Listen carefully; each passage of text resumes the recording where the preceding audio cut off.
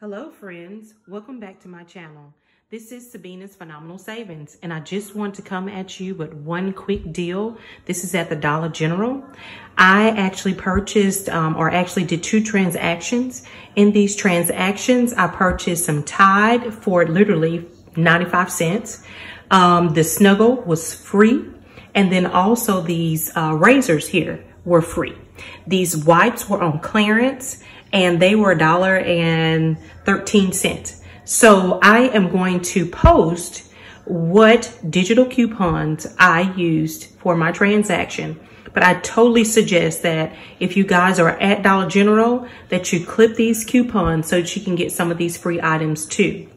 It is a glitch with the Tide and the Tide simply is um, ringing up for $2.95. It's on sale. However, the Tide coupon is uh, attaching to it.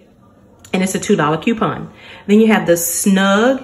It's also um, a $3 off coupon for that one. And it is a coupon that's attaching to it. It is also a glitch. And then there is a, um, the Bic razors. They are $2 and it is a, razor coupon that is attaching to it too. So I'm going to list those up above so that you guys can see them. But you guys, if you're out in that area, please check out this. It's really good deal. Um, I purchased the Tide Simply as well as the razors and the Snuggle in one transaction. And I have several accounts, but this is one account that I actually used and with that account, I purchased it and I paid a dollar and 51 cents. Not bad.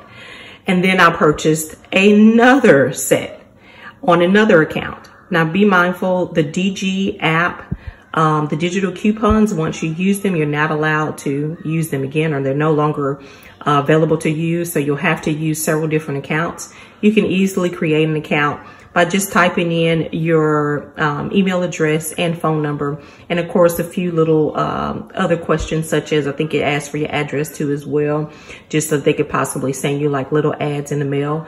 But otherwise, I mean, it's really, really simple. You click the digital coupons before you go. And then after you um, get to the register, of course, grabbing your items, get to the register, you type in your phone number and automatically the coupons will come off. Again, this was a dollar and 51 cents for all three of these items. And I did two transactions. Okay. And the wipes, I'm always looking at clearance. So the, the clearance is always there and I'm going to always check it out and see if there's something I can save on. So I know that you guys want to save as well. And so if you're out again, not encouraging you to go out, but if you're out, check out the sales. And also, if you like this video, please like, subscribe, and also comment if you have any questions or you're, you're questioning how to do it because there is a way to do it. Now, there is a Tide coupon that you do not um, click and there's a Tide coupon that you will have to click. And um, at that point, then you can just go and like I said, put in your phone number.